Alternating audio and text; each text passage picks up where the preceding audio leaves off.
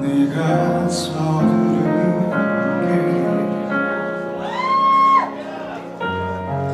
대지 잡고 익숙한 일 외치